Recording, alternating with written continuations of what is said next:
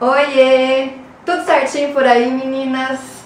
Quem é nova no canal, seja muito bem-vinda. Já aproveita para se inscrever para não perder nenhum vídeo. Clica no sininho de notificação, porque quando eu subir algum vídeo pro canal, rapidinho vocês vão ser avisadas. Aí vocês vão correndo assistir o vídeo, que eu espero que vocês venham logo, hein, gente? Bom, hoje eu trouxe para vocês um produto de cabelo, o meu pudinzinho da Sala Online. Esse produto aqui, ele já tem há um certo tempo. Eu só trouxe a resenha agora porque eu comprei ele agora. E eu já namoro esse produto para comprar. Sempre que eu vou no mercado, eu passo ali pela, pelo corredor ali de produtos de cabelo, sempre namoro esse produto, mas acabei que eu, eu nunca comprei ele. Por que, que eu namoro ele? Porque eu acho assim muito fofa a embalagem dele, gente. Eu acho a coisa mais linda, assim, super me chama atenção essa embalagem toda coloridinha, assim, é toda fofa, né? A verdade é essa, me chama muita atenção. Mas é que eu não comprei porque eu tava com muita máscara e foi passando tempo, passando tempo, até que eu falei, ah, eu preciso comprar, eu preciso experimentar de qualquer jeito, é questão de honra experimentar esse produto. Pois bem, eu comprei esse produto, eu paguei ele assim, é, baratinho, paguei 15 reais nessa máscara de 500 gramas. Então vem uma quantia razoável de produto que dá para usar um bom tempo. Bom, é, primeira coisa que eu faço quando eu compro uma máscara é o cheiro, tá? É, esse meu pudinzinho aqui de coco, eu imaginei que fosse ter um cheiro de coco, né? Bastante cheiro de coco, que eu adoro. Mas não tem. Não, não consigo achar o coco aqui nem de longe. É um cheiro gostoso, é um cheiro bem suave, mas de coco, que é bom, não tem nada do cheiro de coco. É uma máscara branca. Ela parece um marshmallow, a consistência dessa máscara, que eu vou estar mostrando pra vocês.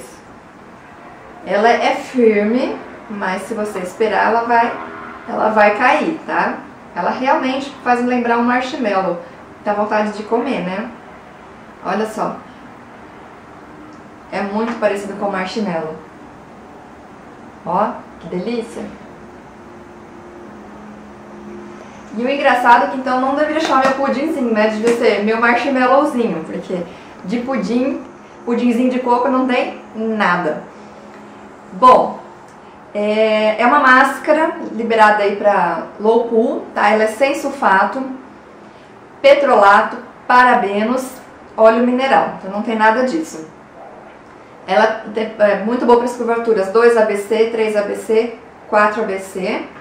É uma máscara de hidratação e nutrição capilar. Por quê? Porque ela tem o componente dos dois. Ela tem água de coco, ela tem o óleo de coco o leite de coco.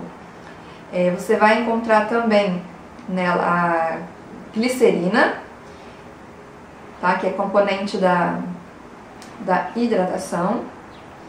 Bom, a água de coco é rica em vitaminas do complexo B e ácidos graxos. Proporciona emoliência, brilho e extra hidratação aos fios. O óleo de coco, rico em vitamina E e ácidos graxos. E o leite de coco possui ácidos orgânicos e minerais. Nutre hidrata com grande quantidade. Bom, essa máscara aqui, ela, o fabricante fala assim para você usar de deixar a pausa de 3 a 5 minutinhos e depois enxaguar e se você desejar um melhor resultado, usar a linha completa, porque tem bastante produtinhos essa linha. Tem shampoo, condicionador, creme de pentear, é, o sprayzinho hidratante, mas eu tô aqui só com a máscara. Bom, o que, que eu achei, gente? É, ela é uma textura assim, muito delícia de aplicar no cabelo. Assim, essa, essa consistência dele de parecer um marshmallow é, facilita muito de passear, passar no cabelo, é muito gostoso. E ela tem tipo um efeito teia, um leve efeito teia, tá? Não é um efeito teia, teia, mas é um efeito leve teia que você vai sentir. Aí você aplica, ela é muito, desliza muito fácil, a hora que você aplica fica uma delícia o cabelo. É, porém,